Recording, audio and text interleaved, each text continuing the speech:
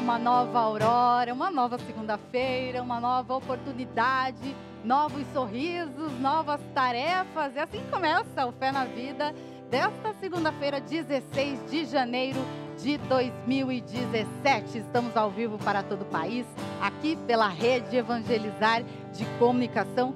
Sejam todos bem-vindos. Fé na Vida, a paz de Cristo para você. Na voz e no violão, se você ainda não conhece, conheça agora, é uma nova oportunidade. Seja bem-vindo, Roger Lincoln. Obrigado, Val. Bom dia. Estou aqui com o Eric também, né? Oi, tudo bem? Vamos tentar. Quero louvar-te, sempre mais e mais quero louvar-te, sempre mais e mais. Buscar o seu querer, a sua graça conhecer, quero louvar-te, cantar-te, sempre mais e mais quero cantar-te sempre mais e mais. Buscar o seu querer, a sua graça conhecer. Quero cantar-te. E nas redes sociais, para te dar aquele oi bem bacana, bem legal, para conversar contigo também. Aqui com a gente hoje, nesta segunda-feira, Eric Reis. Seja bem-vindo, meu querido. Olá, Val. Olá, Roger. Muito obrigado. Olá, você aí de casa. Sejam todos muito bem-vindos ao Fé na Vida dessa segunda-feira. Estamos aqui com o Facebook aberto esperando a sua participação. Entre agora mesmo, facebook.com barra TV Evangelizar. Participe conosco, tem um vídeo que a Valéria fez. Comenta lá, vem com a gente que esse programa está especial para você. Muito bem, então, começando o assunto de hoje, deste Fé na Vida, gente, é o seguinte: olha, estudos do comportamento humano atestam que parte, grande parte, aliás, quase tudo da nossa personalidade é formada, é formatada, digamos assim, pelo externo, que não está totalmente dentro da gente. Nós temos a nossa essência, lógico, mas muito de nós, muito do que nós vamos construindo de personalidade ao longo da nossa vida é formada por opiniões externas. É como se eu, o Roger, o Eric fomos parte, é, formássemos né, um grande quebra-cabeça e cada peça deles nós temos a nossa infância, nós temos a nossa vida escolar, nós temos a nossa família, a nossa vida profissional, pessoas que nos cercam, os ambientes que a gente permanece mais tempo. E é por isso que a gente escolheu como tema do Fé na Vida de hoje, proposta também por um telespectador, equilíbrio entre dois grandes pilares da nossa vida: elogios e críticas. É por muitos deles que nós estamos sendo é, a nossa composição ao longo da nossa vida. Mas esse é um assunto que a gente vai tratar no próximo bloco, a gente vai entrar com mais profundidade nesse assunto. Agora, a gente traz uma pesquisa bem eh, interessante do Vaticano a respeito dos números da Igreja Católica. Eles trazem números dos papas, é, o, a quantidade de tempo que permaneceram no pontificado, também onde está o território da Igreja Católica, qual que é a maior, qual que é o menor. E olha só, eles começam com uma questão bem interessante. Aumentou o número de católicos no mundo todo esta igreja em números. Há cerca de 1 bilhão e 200 milhões de católicos no mundo. E esse número aumenta a cada ano. Atualmente, na verdade, está crescendo mais rápido do que a população do mundo. O número de sacerdotes também está aumentando progressivamente. Atualmente existem mais de 412 mil. O número de irmãs e freiras é de cerca 720 mil. E mais uma figura sobre o pessoal. Há cerca de 5.100 bispos. A igreja mantém 129 mil escolas com mais de 45 milhões de estudantes. Ela opera 5.400 hospitais, 9 mil orfanatos, 14.400 lares para pessoas com deficiência. E a igreja é, com mais de 100 mil instituições de caridade, o maior provedor de serviço social do planeta. O país com o maior número de católicos é o Brasil, 140 milhões. Um dos menores países católicos, por outro lado, é o Vaticano, com seus meros 900 cidadãos. Mas o Vaticano naturalmente ocupa um lugar especial. é o centro da Igreja Católica. Esse é o lugar onde vive o Papa. Papa Francisco é o sucessor de São Pedro número 265.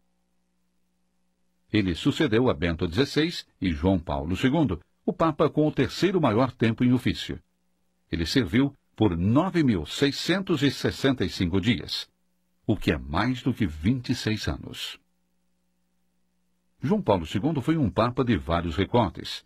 Ele fez 104 visitas pastorais fora da Itália, viajando por 129 países. Ele cobriu 1,5 milhões de quilômetros, o que corresponde a três vezes a distância de ida e volta da Lua. Bem, o Papa mora no Vaticano. E o Vaticano é pequeno, tão pequeno que não chega a cobrir a metade de um quilômetro quadrado, ou 0,2 quilômetros quadrados. Mas isso não foi sempre assim. Em sua história, o Estado do Vaticano cobria grande parte da região central da Itália. Mas hoje o Vaticano é o menor Estado soberano do mundo. Esse pequeno Estado tem um supermercado, uma casa de correios, uma estação de trem, um heliporto,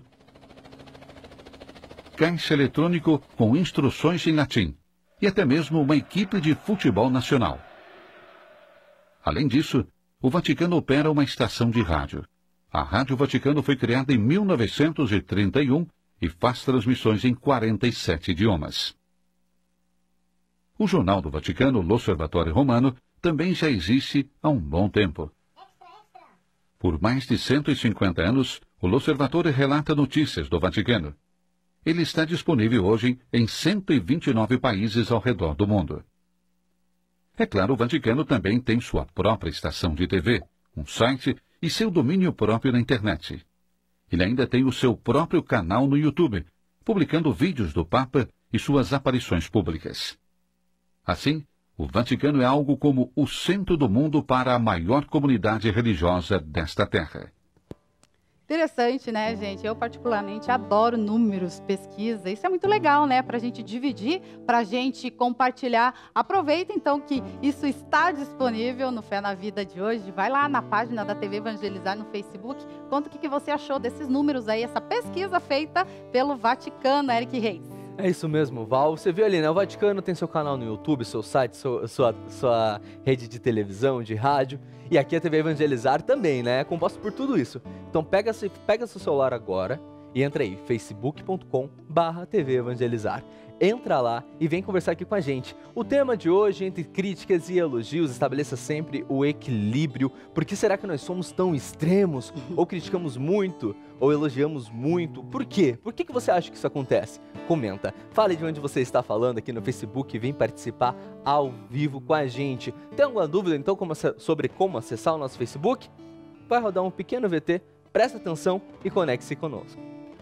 A TV Evangelizar está no Facebook. Fique por dentro da nossa programação. Saiba o que vem por aí. Faça o seu pedido de oração. Aproveite a maior rede social do mundo para curtir, comentar, compartilhar um conteúdo que evangeliza.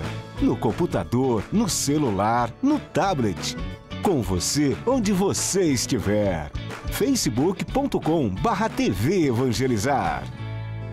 Agora você já aprendeu, então me responda: por que nós somos tão extremos? Entre a crítica e o elogio, estabeleça sempre um equilíbrio. O que você acha desse tema?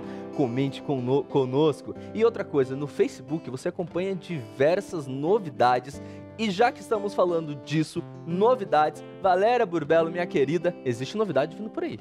Com certeza, né? Todo tempo, todos os anos aqui na obra Evangelizar, especialmente vindo do Padre Reginaldo Manzotti, a gente celebrou aí no último sábado, dia 14 de janeiro, né? Ele tem esse lema, tudo posso naquele que me fortalece. E ele continua fortalecido, graças a você, colaborador da obra Evangelizar. Torne-se torne também um agente evangelizador, trazendo mais pessoas para esta linda obra. Tem novidade sim, e é ele mesmo que dá o recado. Padre Reginaldo, fala aí. Aí, pessoal, um novo trabalho está chegando com batalha espiritual entre anjos e demônios.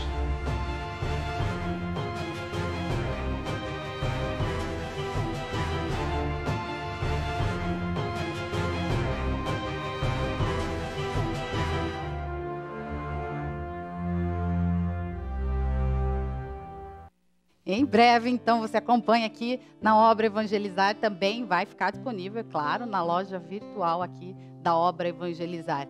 Vamos continuar com as notícias do Vaticano. No domingo, o Ângelus, o Papa Francisco, rezando, né, a oração do Ângelus, lembrou do Dia dos Migrantes e ele fez um apelo especial migrantes e refugiados, aliás, né? Hoje a gente lembra muito mais é, de, dessa parcela aí da sociedade mundial.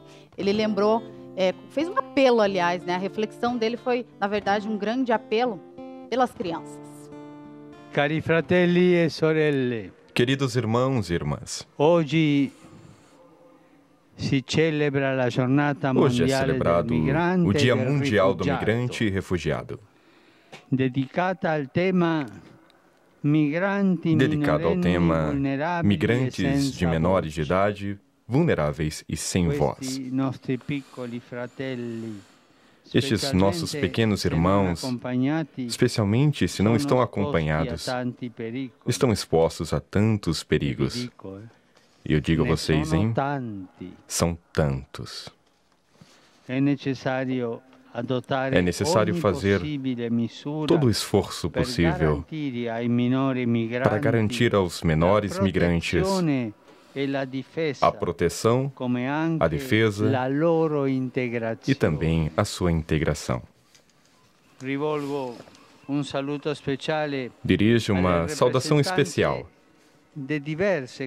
aos representantes de diversas comunidades étnicas aqui reunidas Caros amigos, desejo que vivam serenamente no local em que são acolhidos, respeitando as leis e as tradições e, ao mesmo tempo, zelando pelos valores da cultura de origem de vocês. O encontro de várias culturas é sempre um enriquecimento para todos. Agradeço ao ofício Migrantes da Diocese de Roma e a todos os que trabalham com os migrantes no acolhimento e acompanhamento de suas dificuldades. E encorajo a prosseguir nesta obra recordando o exemplo de Santa Francisca Xavier Cabrini, padroeira dos migrantes, da qual este ano celebramos o seu centenário de falecimento. Esta religiosa, corajosa, dedicou a sua vida a levar o amor de Cristo a todos aqueles que estavam distantes de sua pátria e de sua família. Que o seu testemunho nos ajude a cuidar dos irmãos forasteiros, no qual Jesus está presente e frequentemente sofrendo, rejeitado e humilhado. Quantas vezes na Bíblia o Senhor nos pede de acolher os migrantes e forasteiros, recordando-nos que também nós somos forasteiros.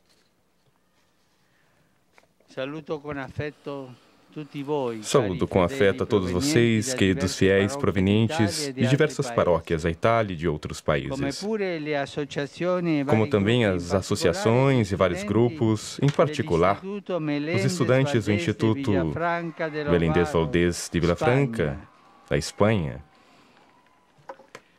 A todos desejo um bom domingo e um bom almoço. E por favor, não se esqueçam de rezar por mim. Obrigado. Sempre, sempre o Papa Francisco lembrando, né, o povo de Deus para rezar por ele com toda certeza aqui na obra Evangelizar através da intercessão e no coração de cada um de nós.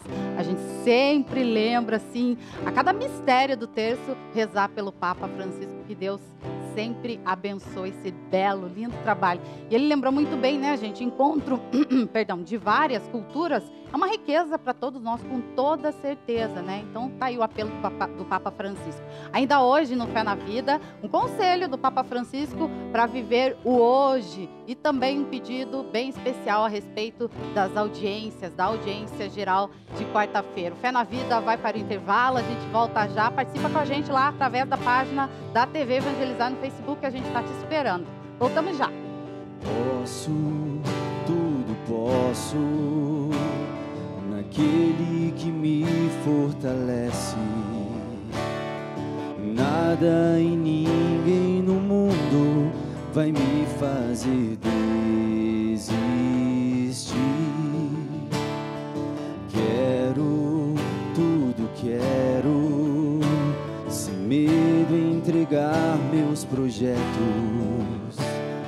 Deixar-me guiar nos caminhos que Deus desejou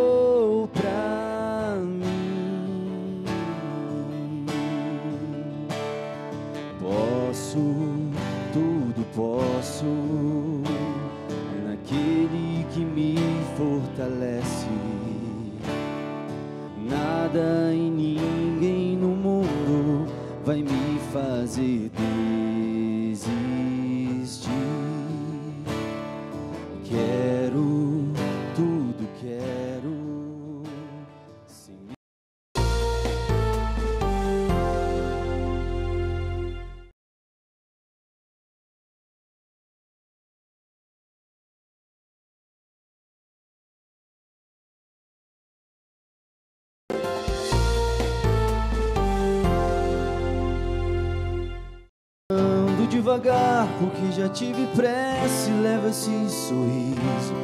O que já chorei demais.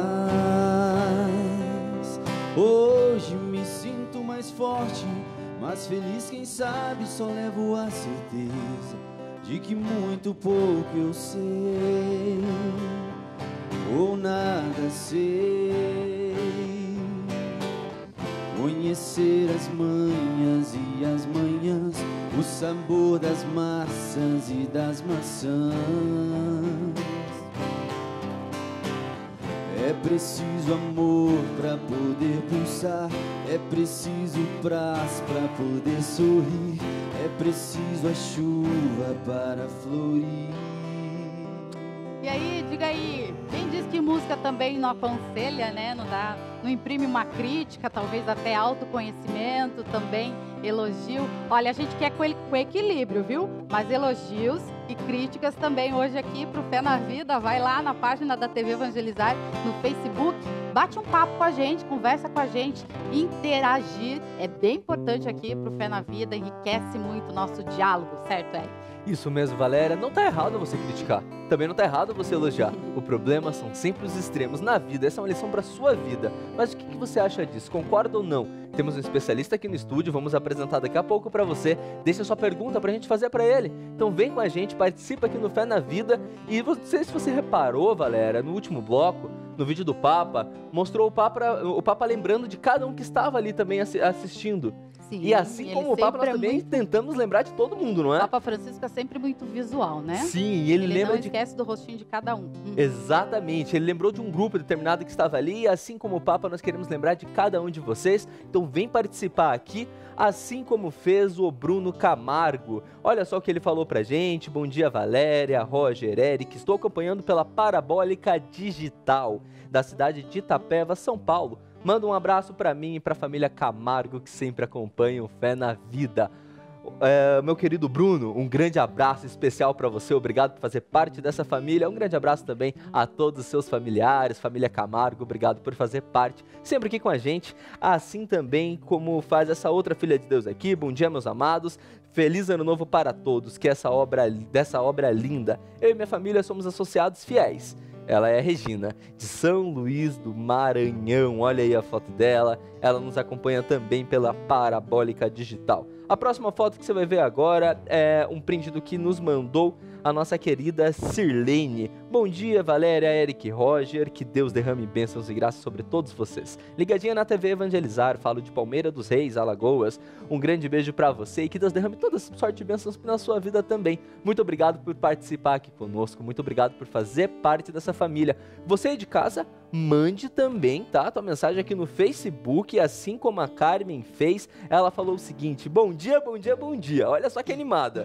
Amo vocês no, do Fé na Vida, que tem me dado mais alegria e fé na minha vida. Ela nos acompanha de Recife pela Parabólica Digital, no, é, ali pelo 52. Carmen, minha querida, um grande beijo para você e para todos vocês que nos acompanham. Pegue seu celular agora mesmo, seu notebook, seu computador, entre tv, facebook.com.br TV Evangelizar e vem nos contar o que, que você acha sobre elogios, sobre crítica, esses extremos. É bom ou não? Por quê? Faça sua pergunta. Vem que tem participação especial que vai responder agora, ao vivo. Vem que eu tô aqui para ler, né, Val? Muito bem, é, ó, por, por, por, trás, o pano de fundo aí desse assunto todo que a gente colocou aqui, equilíbrio entre elogios e críticas, é justamente a influência, né? E a influência, ela também pode ser positiva e pode ser negativa, por isso você precisa ligar o seu alarme aí, o seu alerta. É sempre importante, uma bela conselheira, aliás, é voltar sempre para nossa essência, ter esse autoconhecimento e mais importante de tudo, ao longo da nossa vida a gente vai acumulando muito lixo, né? Muito lixo mental. E aí a nossa essência, que é só sua, né? Você tem a sua, eu tenho a minha, ninguém tira, você tem o poder de fazer uma limpeza. A mente está repleta de lixos emocionais. Você tem lixos emocionais, todos nós temos. Um monte de emoção desnecessária. Tomam conta dos nossos comportamentos, a mente, ela usa as referências de aprendizado que você teve na vida para escolher comportamentos que você vai ter no presente. Lixo emocional limitam a sua vida. O mundo está aí para todo mundo, o mundo é maravilhoso ou ele é terrível. Depende do mundo que você tem dentro de você. Antes de construir um prédio bonito sobre um terreno, primeiro limpe esse terreno. Tira esses entulhos daí, porque eles com certeza vão te atrapalhar. Na hora de você construir, a primeira coisa que a gente tem que fazer é limpar uma série de valores, uma série de princípios, uma série de conceitos que sujam, que, que acumulam entulho em cima do nosso terreno. Não é fácil a gente reconhecer as podridões que nós trazemos dentro do nosso coração. Não é fácil. Não é fácil você olhar para você e reconhecer que você tem defeitos. Olhe para você mesmo, não tenha medo disso. É você, é a sua verdade, é seu projeto. A sua essência está aí, com defeitos, com possibilidades. Agora, a partir do que você é, pode nascer um ser humano grande. Isso não tenho dúvida. Pois o primeiro fruto que nós podemos identificar é a capacidade que a pessoa tem de reconhecer os próprios erros. Isso é nobre, essa é uma mística aperfeiçoada que nós precisamos buscar todos os dias. E ela só vai tomar conta do nosso coração quando nós tivermos coragem de analisar quem somos, de olhar sem medo quem sou eu, quem é você nessa história. E esses princípios, esses valores estão por aí.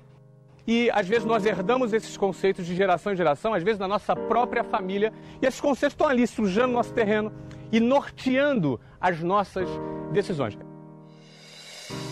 Aí você vai chegar à conclusão que aquele que é você hoje é fruto de um condicionamento, de uma história vivida, de muitos de palpites que vieram de fora. Cuidado. Retire todos esses excessos. Retire o que os outros acham de você. Retire os defeitos que você foi recebendo por causa das convivências, por causa dos exemplos errados que você foi assumindo. Tente retirar tudo isso e veja uma nudez humana que todo mundo tem direito de ver. Quem sou eu, na verdade? De onde nasce tudo isso? Quantos miseráveis ficaram grandes porque acreditaram nisso? Quantas pessoas miseráveis que não tinham quase nada aos olhos dos outros e que de repente se ocuparam de suas essências e floresceram e ficaram grandes e ficaram bonitos e ficaram viçosos no jardim humano. Você refletisse um pouco mais, fizesse uma investigação aí nos seus pensamentos, é, nos conceitos que você é, aprendeu na escola, ou até na sua, na sua própria família. Que conceitos poderiam ser conceitos que estão sendo ruínas e entulhos no seu terreno? Como é que estão as minhas paredes internas? Como é que está o meu coração? Como é que está a minha mente? Quais são os meus valores? O que, que eu considero importante? Eu tenho muito medo de morrer sem ter sabido quem eu era. Muito bem, o Fé na Vida está aqui hoje para isso, né? Para que isso não aconteça. Olha, hoje é o equilíbrio, a gente vai te ajudar a buscar esse equilíbrio entre elogios e críticas. E a gente convidou um especialista, sim, Marcos Meyer, aqui no Fé na Vida hoje com a gente. Seja bem-vindo pela primeira vez. Muito obrigada por aceitar nosso convite. É um prazer estar aqui com vocês. Bom, Marcos, elogios e críticas, como a gente viu aí, é algo que faz parte da nossa vida desde os primeiros instantes da nossa existência, certo? É verdade, é verdade. A, a mãe, o pai, vai fazendo com que a criança se torne uma pessoa justamente através dos elogios e das críticas. Olha só. No entanto, a gente erra muito fácil. Sabe por quê? Porque pelo fato da gente amar o nosso filho, a tendência que a gente tem é só elogiar. É, elogia tudo que faz, qualquer coisa está bom. E esse excesso de elogio faz com que a criança não suporte daí uma crítica, não suporte falhar, não suporte errar. Aí quando ela faz alguma coisa que não está legal, alguém pede para fazer de novo, já chora, já briga. Ela não tem resistência à frustração. Então a gente tem que saber equilibrar. Isso a gente vai conversar bastante hoje. É, então começa lá na infância, né? E o começa. outro lado também pode acontecer, certo, Marcos? Quando de repente é uma crítica muito a gente vê é, situações assim sempre, né? O pai dizendo sempre é. para a criança: você não vai conseguir fazer isso, você não vai conseguir fazer isso, e isso pode arrastar o indivíduo para o longo da vida. É, com certeza. Uma crítica mal feita, ela pode ser destrutiva, e isso é muito forte quando os pais fazem. Por exemplo, é, você pode é, é, dizer para o seu filho que o quarto que ele está está uma zona, está uma bagunça, está desarrumado, está um lixo. Você pode, mas não pode xingar, não pode humilhar, não pode criticar o filho. É bem diferente. Eu vou, eu vou, eu vou, eu vou mostrar isso é, através da fala da mãe. Por exemplo, a mãe, a mãe diz assim: Filho, vem cá.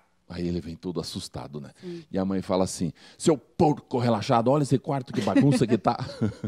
Limpa esse troço. Aí ele gasta a manhã inteira limpando. Quando ele termina de limpar, o que, que aconteceu? Nada, ele continua sendo um porco relaxado, Exatamente. porque foi a mãe que disse que ele é. E a mãe tem autoridade sobre a vida dele. Então tá todo, tudo errado a forma como essa mãe fez. Então, o que está certo? Que jeito ela deveria ter feito? Olha, ela poderia chamar assim: filho, vem cá. Pode pôr a raiva para fora, não tem Sim. problema. Aí, quando ele vem e abre aquele zoião desse tamanho, aí a mãe diz assim: Olha esse nojo de quarto, que porcaria isso daqui. que nojo o quarto, porcaria isso daqui, não o filho. Sim. Limpa esse troço. Aí ela, ele gasta a manhã inteira limpando. Quando está tudo arrumado, ela fala: Uau, agora sim, parece você. Ainda ganha elogio. Quer dizer, você pode criticar, mas critique a coisa, nunca a pessoa. Critique o que as pessoas fazem, não critique as pessoas. Faz toda a diferença. Você pode falar para o teu colega de trabalho, falar assim, escuta, você chegou atrasado hoje. Isso é uma crítica sobre o que ele fez. Mas você jamais pode falar assim, oh, você é um irresponsável. Chegou atrasado, opa, atingiu a pessoa. Ele pode ter tido um grave problema por ter chegado atrasado, não você não, a gente não sabe, exatamente. Então, critique, mas sempre critique o fato, não a pessoa. E é quase que impossível isso, né? é, porque na, na raiva, na, no momento da emoção, a gente, é, pela impulsividade, fala errado, fala do jeito errado, magoa as pessoas, depois para pedir perdão é difícil. Então a gente tem que tomar muito cuidado com isso. Nós chamamos isso de assertividade. Seja assertivo. O que, que é assertivo?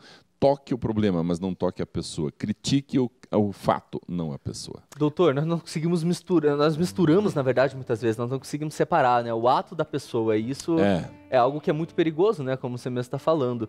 Tem uma participação muito especial aqui, a Maria Lúcia, ela falou duas coisas bem interessantes e ela, de uma maneira muito humilde, está perguntando se ela está certa. Tá. A convicção da Maria é a seguinte: existem vários tipos de críticas construtivas e destrutivas. A que aponta para as falhas e as críticas que são apenas por inveja. Se, assim, se não for assim, me ajude a entender. Ela já emendo com a próxima pergunta dela, falando sobre os elogios. Os elogios vêm de pessoas bem amadas e bem consigo mesmo e com o mundo. Pessoas cheias, cheias de Deus, que têm o dom do amor ao próximo. Se não for assim, me ajude a atender. Aí eu emendo a minha pergunta junto com o que ela Meu falou. Deus. Opa, três em um, então. Três em um, um combo. A Maria falou aqui que pessoas bem amadas elogiam. Mas será que pessoas que apenas elogiam, elogiam em excesso, demasiadamente, as pessoas que enchem você de elogio o tempo inteiro, não são pessoas que estão com o ego um pouco inflado, porque ela não quer magoar você, para que você não fique magoado com ela, de repente, quem não conhece uma pessoa assim, todo mundo que só elogia, é 100% bom ou tem algo por trás dele que a pessoa também tem que tomar cuidado? Tem que tomar cuidado. Deixa eu mostrar uma coisa muito interessante que aconteceu nos Estados Unidos através de uma pesquisa fantástica que eles fizeram. Eles pesquisaram 400 crianças de 6, 7, 8, 9 anos de idade e fizeram assim. Trouxe uma tarefinha para vocês. Quem quer faz, quem não quer não precisa. As crianças nessa idade topam Não tudo. vou fazer. Ah, tá. Vamos Elas fazer. topam. Criança pequena topa. Ah, vamos fazer. Fizeram. Era, precisava um pouquinho, esforço, um pouquinho de esforço, mas conseguiram. Aí eles dividiram essas 400 crianças em dois grupos. O grupo A, elas falaram assim: Uau, como você é inteligente! Nossa, como você é esperta! Que maravilha! O grupo B falaram do esforço, do trabalho. Uau, como você se esforçou! Que pessoa esforçada você é! Como você trabalhou bastante até conseguir! Muito bem. Bom, então, uma inteligência, o outro grupo, esforço. Esforço. E aí vie- vieram com uma nova tarefa. Trouxe uma nova tarefa. Quem quer faz, quem não quer não precisa. O primeiro grupo, que foi elogiado quanto à inteligência, não quis fazer. Por quê? Porque eles pensaram assim: já ganhei o elogio da inteligência. Se eu errar, vou perder. Então não vou fazer. O outro grupo pensou assim: é, ganhei o elogio por causa do meu esforço, vou me esforçar de novo. E aí você pode observar que estas crianças que são elogiadas quanto ao trabalho, ao esforço, à persistência, elas vão longe. As crianças elogiadas eh, quanto à inteligência, elas confiam tanto na inteligência que não se esforçam. Aí reprovam no vestibular, eh, vão mal nas provas, porque só confiam na inteligência. Então a gente tem que tomar cuidado com o elogio. Então, assim, ah, pessoas de bem com a vida elogiam muito. Opa, pode não, pode não acontecer. Às vezes a pessoa elogia tão errado que dá problema. Se você elogia só a beleza e só a inteligência do seu filho, você está fazendo com que o ego se torne maior do que o esforço, maior que o trabalho, maior que a persistência, maior que a verdade, que os, que os princípios. Então a gente tem que saber como elogiar, senão a gente vai elogiar errado.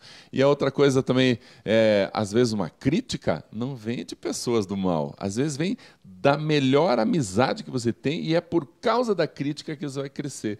As minhas primeiras palestras eram chatas pra caramba, porque eu achava que eu tinha que dar conteúdo. Ah, eu tenho que falar muito conteúdo, o conteúdo tem que ser sério. Aí a minha palestra era chata. Aí um amigão falou assim: Ô Marcão, você tá chato nessas palestras. Oh, pô, cara, por que você está falando isso? Pô, você sempre conta piada, é bem humorado, mas na tua palestra você tá chato. Aí foi uma crítica. O que, que eu fiz? Mudei o comportamento e acertei o jeito melhor de dar palestra. É mas quem aí. me criticou? Uma pessoa que me ama, um amigo. Muito bem, olha, equilíbrio, gente, entre elogios e críticas. É sobre isso que a gente está falando hoje aqui no Fé na Vida. Nós vamos para o intervalo, voltamos já. Continue mandando aí suas perguntas e a gente responde aqui ao vivo hoje. Penso que cumprir a vida seja simplesmente compreender a marcha, ir tocando em frente, como um velho boiadeiro, levando a boiada, eu vou tocando os dias, pela longa estrada eu vou, estrada eu sou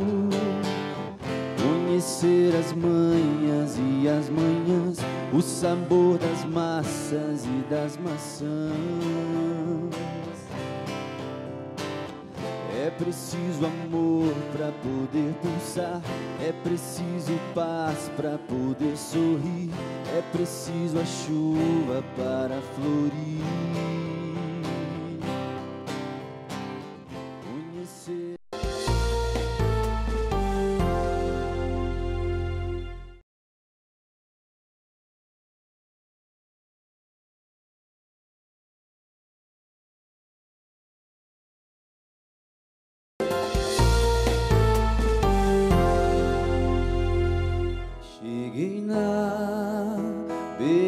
Porto onde as ondas se espalham.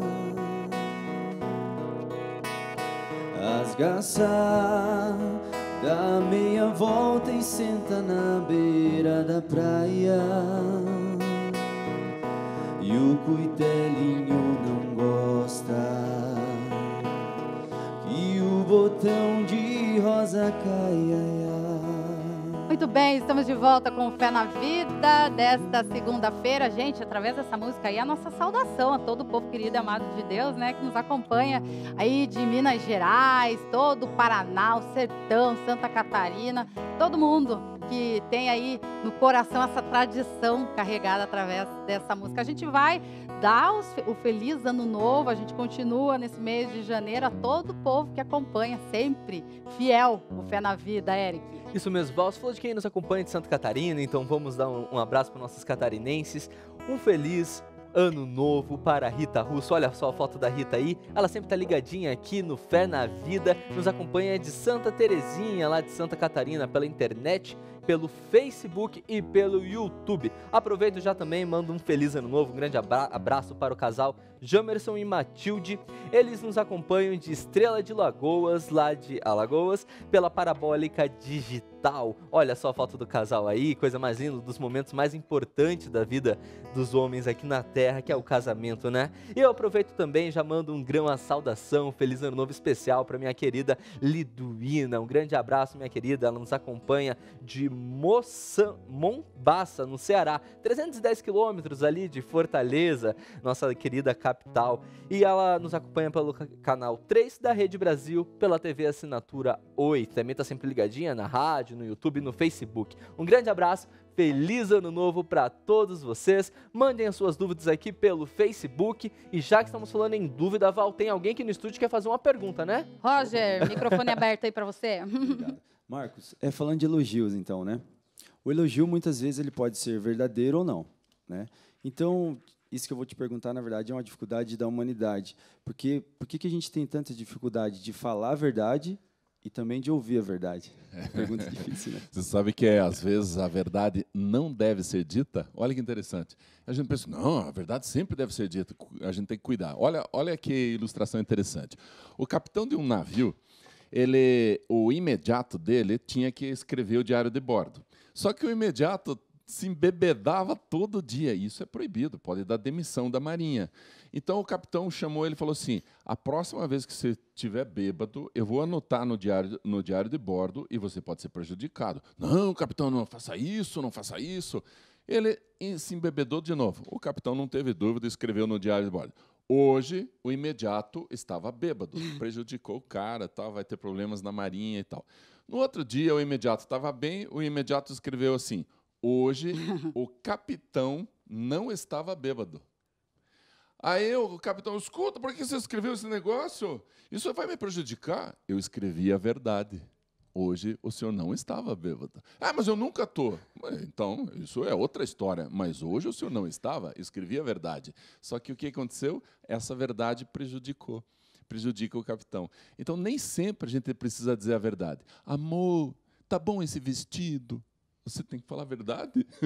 É. Ou de que jeito vai falar a verdade? Então, claro que nós temos que falar. Não, amor, esse não ficou muito bom e tal. Mas você vai dizer, não, você está muito gorda? Não. Você pode dizer, esse vestido não deu certo para você, amor. Então a gente tem que cuidar algumas vezes. A gente tem que dizer a verdade se ela for motivada pelo amor. Aí a gente pode dizer.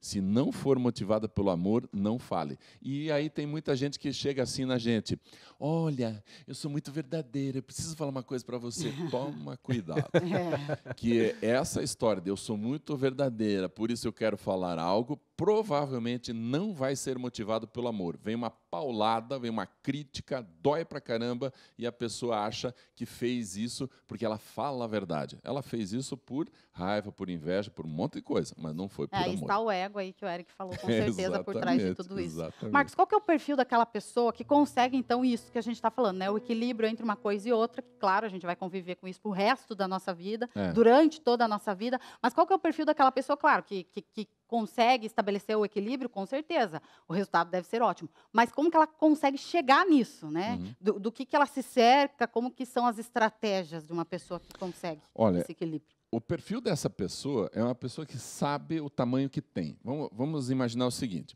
o tamanho psicológico. É, se eu acho que eu sou melhor que todo mundo, que eu sou maior que todo mundo, mais importante que todo mundo. Então, o meu ego está muito maior do que eu, o que eu sou realmente. Eu sou arrogante, prepotente e orgulhoso. Não é legal. É uma autoestima exagerada, não é boa. Sim. A outra pessoa tem uma autoestima muito baixa. Ela acha que todo mundo é melhor que ela, que todo mundo pensa melhor. Ah, que pizza vamos escolher? Escolhem você, escolha você. nunca se coloca, nunca se posiciona, porque a autoestima é muito baixa. Então, pessoas com autoestima exagerada ou autoestima muito baixa não sabem elogiar, não sabem criticar. Então, o melhor perfil é a pessoa que tem o tamanho que tem, ou seja, o meu ego, o meu valor, a minha importância é daquilo que eu tenho. A essência, então, o autoconhecimento. Esse exercício que a gente tem que perfeito, fazer o tempo todo. Perfeito. E aí, para quem é, recebe, né? A gente está falando aqui de quem faz, mas para quem recebe, como devolver, por exemplo, um elogio? Isso, isso é que muito... não é não é bom. De repente, um elogio, uma crítica que não é boa, como que a gente devolve isso para a pessoa? É, isso é muito interessante. Tem muita gente que, fa... que dá um elogio para gente e a gente fala assim, não, são os teus olhos, é que isso? Né? Eu, imagina uma pessoa te dando um presente e você devolver. Poxa, que chato. Então não devolva elogio, agradeça o elogio. Ô Marcão, eu gostei do que você falou. Ô, cara, obrigado, obrigado pelo feedback. Assim eu sei para onde é. ir na próxima. Quando elogiam o feedback, isso é sensacional. É, é esse o caminho. Então agradeça quando te elogiarem, agradeça quando te criticarem. Se o amor é que estiver por trás dessa motivação. É, e a gente precisa daqui, da, daquilo que a gente chama de filtro, né? Aí tem que ter um sempre, filtro sempre. bem especial para tudo isso. No, Eric, as nós, participações. Tem, tem sim, Val. Nós temos que nos conhecer, nós temos que conhecer, inclusive, o próximo. Mas você só vai conhecer o próximo a partir do momento que você conhecer a ti mesmo. Então entra aquela máxima, conhece-te a ti mesmo, ama a ti mesmo. A Maria de Fátima falou o seguinte, bom dia, o equilíbrio está em ter fé em Deus, viver humildemente e tentar analisar o que é crítica construtiva e o que não é, aceitando só a construtiva. Também é importante analisar os elogios, pois ele, dependendo de quem, de, de quem vem, pode ser falso. Ela nos acompanha de Carpina. É, e é exatamente esse ponto, né, doutor? Nós temos que saber aquilo que a gente aceita, aquilo que a gente não aceita, porque senão a gente pode se dar mal, né? Quando deitar no travesseiro pode ficar meio triste sem saber o porquê, ou muito feliz. ou exageradamente feliz de uma forma errada, é verdade. Então a gente tem que ter muita sabedoria a gente tem que ser humilde. A palavra humilde vem da palavra humus. Humus é terra adubada. Então uma pessoa humilde é a pessoa que dá frutos e não aquela que se submete, abaixa a cabeça e, acaba sendo su subserviente. A pessoa que dá frutos onde estiver. Isso pode ser com inteligência, pode ser com vontade, com trabalho, pode ser uma pessoa com boa postura. Isso é ser humilde. A busca do equilíbrio ela é mais difícil na vida pessoal ou profissional nesse âmbito que a gente está tratando? É mais difícil na vida pessoal, porque é. na vida profissional as regras estão bem estabelecidas, a gente sabe exatamente o que tem que fazer. Na vida pessoal a gente diz, ah não, o chefe sou eu mesmo. e a gente daí pisa na bola. Agora, sabendo que tem um chefe pegando no nosso pé, a gente tende a ser melhor. Então, mais cuidado com a sua vida pessoal. As duas podem ser construtivas e destrutivas, então perfeita, exatamente isso. Cuidado com as duas, com as três, com as quatro vidas e momentos que você tem.